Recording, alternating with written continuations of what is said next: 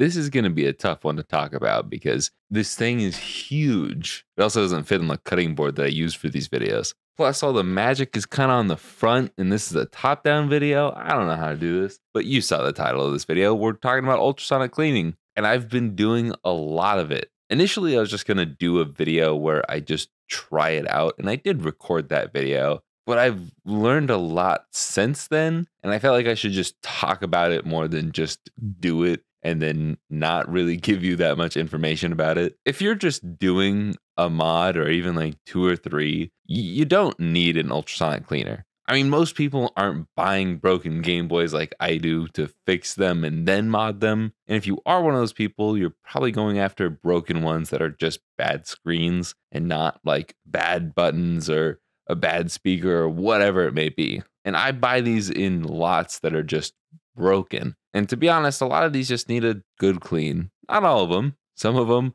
are terrible, unfixable, disgusting. And sometimes I get lots like my latest GBA lot was terrible and I really regretted my purchase. Especially if you buy from someone who's not a good person and then they just throw only corroded boards and a lot of 10. Those are awful people you are the scum of the earth. But pretty much the number one thing I do when I get in my broken Game Boys is I tear them apart and I clean them. And for a while, I would test them before I did anything with them. Then I would clean them and retest them. And then I started cleaning them and then testing them. And then I started cleaning them, replacing the obviously bad things like the battery connectors if they were corroded, the volume wheels if they wouldn't spin, things like that. And then just reflowing all of the things that are good or probably are good that might just not be functioning well because it's old solder, like the headphone jack or even the power boards. This board is two years older than me. Sometimes you just gotta treat these boards like a day old pizza. Just reheat it and it'll be fine. And then one day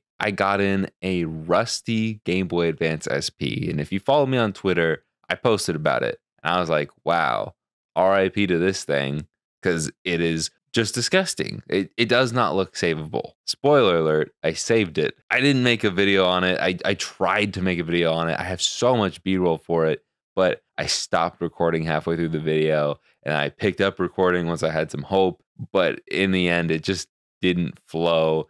And I knew if I just said, and then I did this thing instead of showing it, people wouldn't care about that as a video. So I'm talking about it here and there's probably a ton of b-roll on screen for this video but what started that process for saving that game boy was my mom's ultrasonic cleaner the sp was small enough to fit in the one that she has for her jewelry so i borrowed it and it worked. It didn't fix it immediately, but it cleaned a lot of the dirt and grime off. Ultrasonic cleaners are actually meant to shake the rust off of metal, which is crazy. And paired with the right cleaner, it can really get PCBs clean. I know what a lot of you are thinking. You're like, Jake, you're not supposed to get electronics wet. And that is true. You shouldn't just go dunking electronics in water. But if there's no power connected, no speakers connected, and you don't plan on turning this on until it's completely dry and you actually dry it in a timely manner, it's fine. That's actually how you clean these things. Even 99% isopropyl alcohol is 1% water. Isopropyl alcohol just dries fast, but isopropyl alcohol is extremely flammable and you should not be using that in an ultrasonic cleaner. For that, I used some industrial Simple Green. It's called Simple Green Crystal, but that was giving me a ton of headaches. So I'm going to try just regular Simple Green next time. But it did work great and I heavily, heavily watered that thing down you can do like one part cleaner, 30 parts water, and this is like a 15 liter ultrasonic cleaner, which I should kind of explain that. I just started with my mom's ultrasonic cleaner and then I went and got a bigger one. And that was what I used to make my initial video where I just tested things out. And that's where I learned to uh, not include speakers when you do that cleaning because it will ruin the speakers. Yeah, that was kind of an obvious thing, I guess, but you know, science. I tried it for you, so you don't have to. And then I ended up liking it so much, I got the giant 15 liter one. And that is the best 160 bucks I've ever spent. I will link it down below, but I'll also link a smaller one down below that makes more sense. But honestly, unless you fix a lot of electronics, I don't think it's necessary. Isopropyl alcohol will probably do the trick, but I have fixed hundreds and hundreds of Game Boys across all the models. And while this doesn't necessarily speed things up, it definitely helps fix these things. And even as I'm recording this, I don't know how I really want to structure this video. I think I just want to share my process of how I work on these things and how the ultrasonic cleaner fits into my new flow. I'm still not testing these boards when I get them in. When I got these pockets in, I tore them down and I immediately started reflowing all the solder. If there was obvious corrosion somewhere, I took care of it by removing the part that was corroded. I don't know if I had swapped either of these, but usually it's the battery terminals. And I reflowed the solder on the headphone jack, the power jack, the power board, the capacitors, any of the solder points that really looked dull, and both the contrast and volume wheels, as well as cleaning up the power switch. That's a go to move of mine, which I think everybody should do.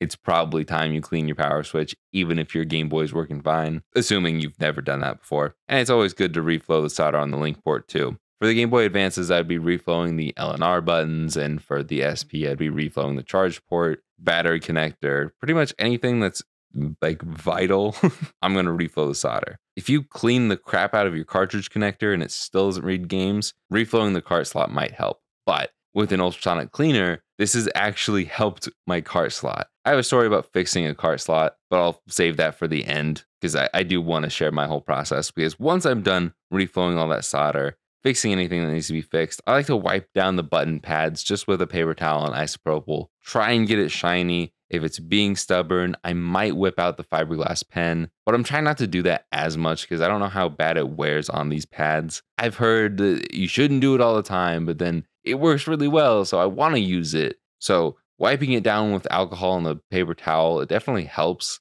And usually by that time, there's been so much flux all across this board from reflowing everything. Even if I'm cleaning it with isopropyl alcohol, it just is sticky and gross. I don't like it. So at that point is when I throw it in the ultrasonic cleaner. If it still has a speaker that's good, I remove it. I leave the wires on just because to me it's easier to resolder to the actual speaker than to resolder the wires in the holes there. But usually the wires are so worn that they fall apart anyways. So you might end up having to solder on both ends anyways. if it's covered in corrosion, I tried it. It doesn't really do anything.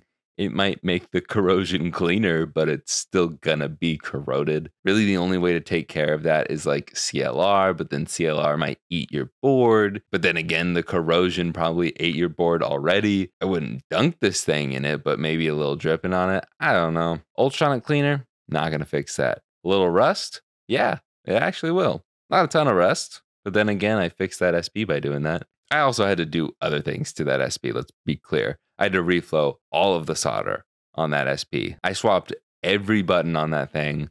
I swapped the charge port, I swapped the link port, I swapped the battery connector, and I just put flux across the entire board and heated it up with my soldering iron. I think I even swapped out the cart slot on that thing too. And I still had to connect a bodge wire or two to fix that finally. But it is working and it's going to be my personal SP. and I kept the shell. I cleaned it up, but I kept it and it looks gross, but I love it. Anyways, and once the cleaning part is done, I rinse off the cleaner just with the sink water and then I give it an isopropyl alcohol bath. I literally just put isopropyl alcohol in here, 99%. Just put one of these in there, fill it up so it's above the board and then I'll let it soak in there. I'll shake it around.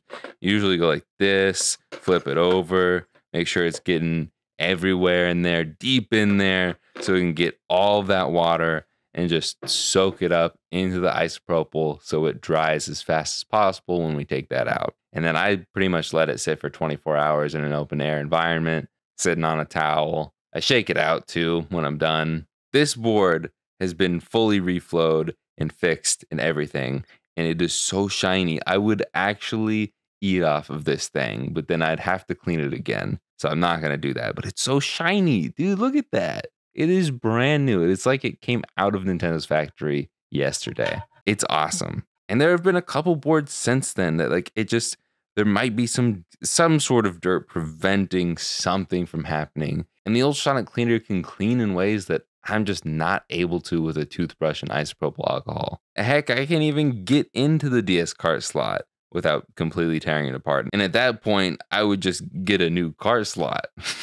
it might be able to save a charge port or a button, a connector, something, because I had an SP that I was working on forever over the summer. If you don't know, last year I made a video where I fixed every common issue on the Game Boy Color. And I put so much time and effort into that video. And before I even posted it, I started working on an SP that had pretty much every problem wrong with it. And I was going over how to fix all of those problems in one big video, just like the GBC video. But I had started that before I posted it. And that's the first lesson I learned with this one. Don't start the second video in the series if the first video in the series isn't confirmed to be decent. That video still has not done very well. And I was already working on the next version of it with the SP. And then I started to struggle with fixing that SP once and for all.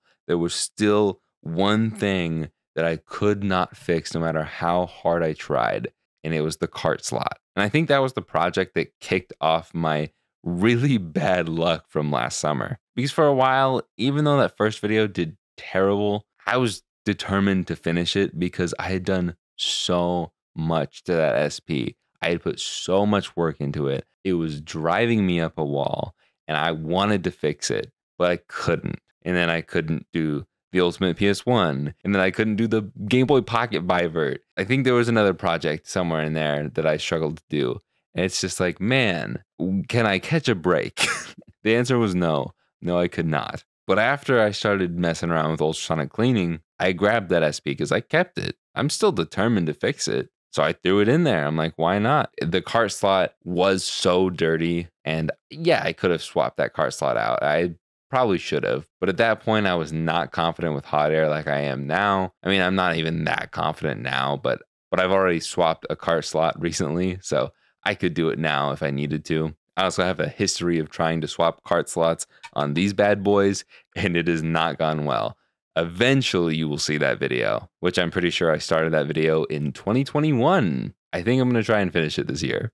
We'll see. You'll know what I'm talking about eventually. But I threw that SP in the ultrasonic cleaner and it works now. It just it works. It was able to clean whatever gunk was on these pins and it works. I didn't have to risk ruining the cart slot or the board in general because if I rip any of those pads, it's probably going to rip multiple pads. That's just how it goes when you replace cart slots. It's not that easy. Desoldering is just hard, man. It is hard and I hate doing it, especially when it's like this style where it's on top of the board. If it was through hole like this, I feel like it's so much easier to remove mm. through hole things. Either way, there's a lot of pins to desolder, but the ultrasonic cleaner just does things that I can't do.